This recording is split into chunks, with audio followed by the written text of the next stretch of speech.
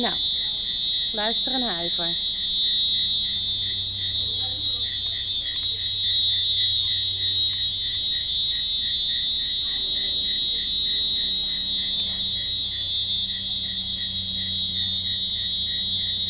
Horen jullie wat ik hoor?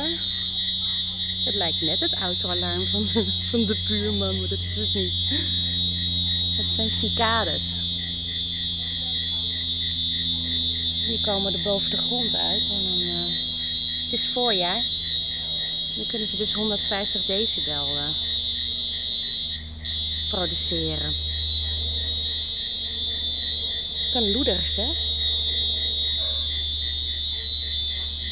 Ja, ziet.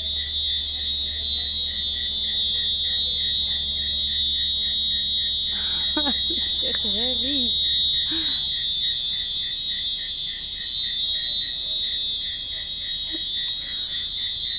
Ik ga naar binnen en ik krijg er oorpijn van.